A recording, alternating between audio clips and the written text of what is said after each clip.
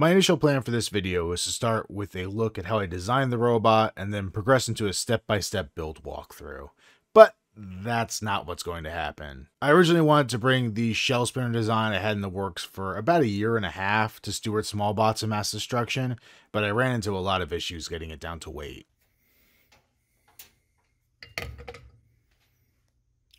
Son of a. I decided instead to go back to another design I've been wanting to try, basically the single motor clamper lifter mechanism similar to the one used by Claw Viper on BattleBots.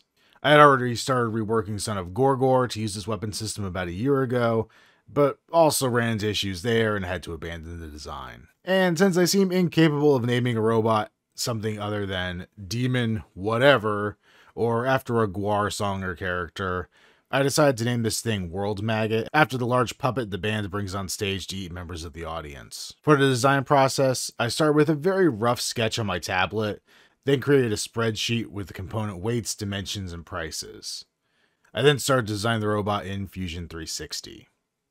This was really my first time using Fusion aside from following David Small's combat robot design tutorial, and eventually I kind of abandoned the CAD as I felt like I wasn't getting through it quickly enough and needed to start building. And this was a mistake. I got my components and material in and started building. As I was building, I noticed the footprint of the robot seemed way too big. I also counted on using my 3D printer and mill to build the robot. However, my printer is totally busted at this point, and I still need a lot more practice on the mill to get the kind of machining I needed for a design. A large portion of the time working on this robot was devoted to the lifting and clamping mechanism. Here's another area where if I finished the CAD, I might have caught a major issue. Despite having built one of these mechanisms before, when designing it for World Maggot, I had designed the lifting arms like they were going to be a more standard design with the arm rigidly mounted to the gear. This forced me to go back and remake the lifting arms in the correct style. So if you were watching those previous clips and you couldn't understand what the hell I was doing, well, I didn't either apparently. I was building them like a standard lifter where they were hard mounted to that rear axle and completely forgot that the whole thing with this this design is that it's actually the front axle here, the one that's going to be holding the clamping gear, that enables the lifting gear to engage. When this gear stops running, this back gear goes. And I built it like it was a standard lifter where this gear was engaged, but that meant there was zero chance that this clamping gear was ever going to be engaged. Uh, that was that was a pretty big mistake to make on this, so going back and redoing some work here. Okay, so here's the full mechanism. Now you're gonna have to imagine that the servo is back in here. It's gonna be driving this first gear. When we spin this gear, it spins that front gear freely, and that's gonna activate the clamping mechanism. Ooh, that is like super smooth right now. That's nice. Um, so yeah, this is gonna activate that clamping mechanism. This is gonna be pulled down and then as long as this gear can spin freely, they are going to keep doing that. But once this front gear is jammed, which is going to be either clamping on the other robot, or I am going to put a piece of standoff in between here so that I can bring it down and have it clamp or stick basically. So once this is restrained, this is kind of hard to show, but then when this back gear spins, it will actually raise the full assembly. That can't spin, it's going to move the whole thing, so that gear stays in place and now orbits around the middle gear there, or the back gear in this scenario, but that's actually what makes it lift. So I have a temporary setup. I mean, the gears and the lifting arm is all together. I don't have the claw yet, and I don't have the real electronics. I just have the uh, tiny ESC plugged into this servo here, and the corpse of Son of Gorgor over there. But whatever. We're going to test this arm here. So I have a little bolt going through this first gear, which is going to kind of replicate our claw. So it gets to a point where it can't move any further. Then we'll go the other way, and we'll clamp down, basically. And there we go. We got our...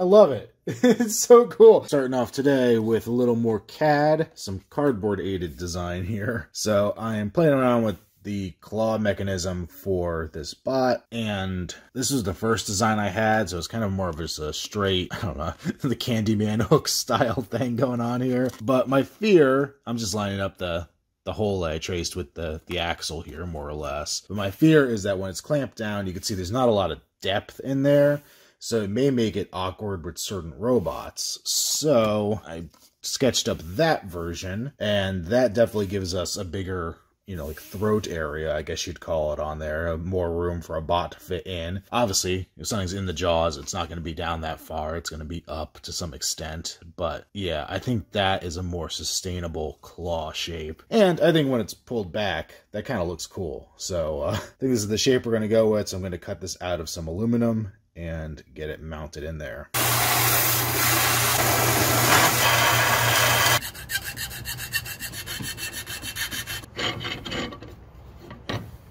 The robot is still on its little like umbilical power coming off of the corpse of Son of Gorgor right now. But I got the claw on and I just wanted to test it out. I threw a one, two, three block there on the front of the forks. I checked, it is a pound. Obviously, the weight in it isn't as distributed out as a real ant weight would be. It's pretty compact, but you know, just for a proof of concept here.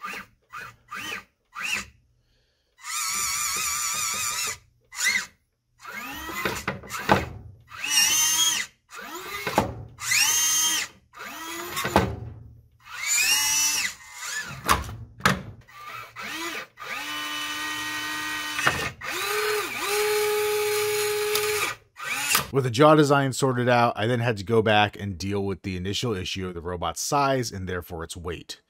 After considering multiple options, I decided to greatly reduce the robot's size by switching from a four wheel drive system with N20 motors to a two wheel drive system using Fingertech Silver Sparks. This let me cut off the areas of the bot that were initially flanking the front lifter going from an overall rectangular shape to a more of a capital T shape. I also swapped the 3S battery with two 2S batteries I had used in F1 third previously. These were lower capacity batteries, but also considerably lighter. As it stands, the full parts list for this bot is two Fingertech robotics and silver sparks for drive, using the old style Fingertech wheel hubs and flip-flop wheels. I don't know if I've ever personally included this in one of my videos, so I figured I'd show it off here. This is the uh, flip flop wheel hack, basically. I think Matt Spurk was the one that showed me this initially. So these are like dollar flip flops you can get at Walmart. So you just get the biggest size they have, and you get two of these basically. You take the plastic parts out.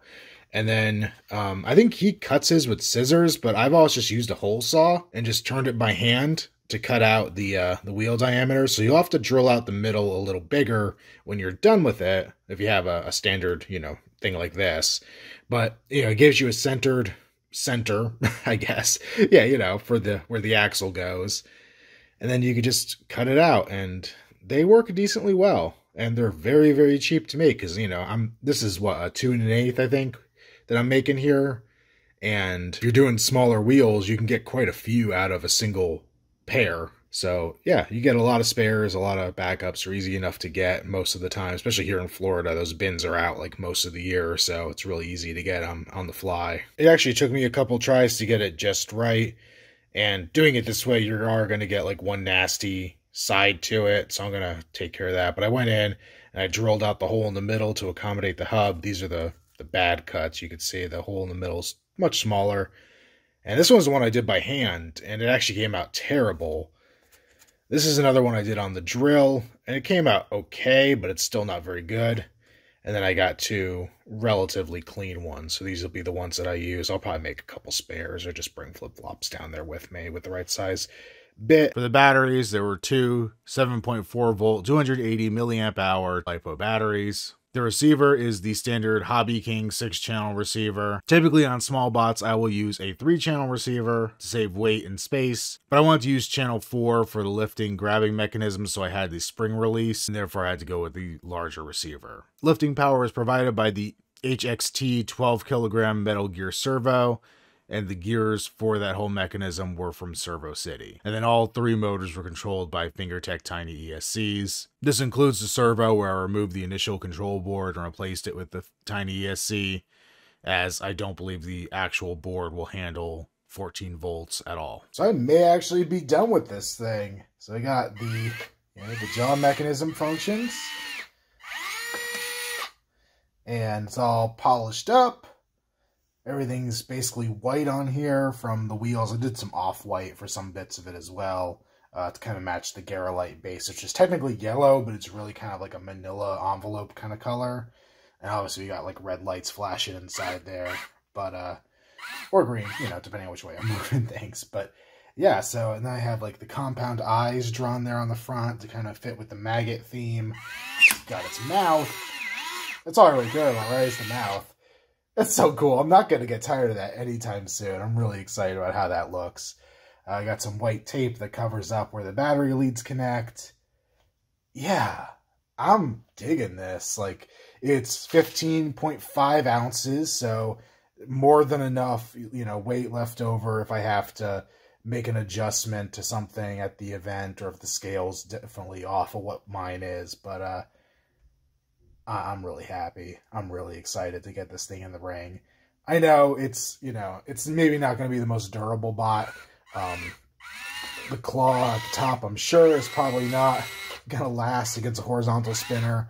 But I could always lock down that front gear and have just the lifting forks. I mean, even the front end, I'm not really sure how it would hold up to getting hit, but we'll see. I'm hoping it gets at least one fight where I could really give it a test of how it's supposed to go before I have to go up against like a death spinner. But yeah, I'm happy.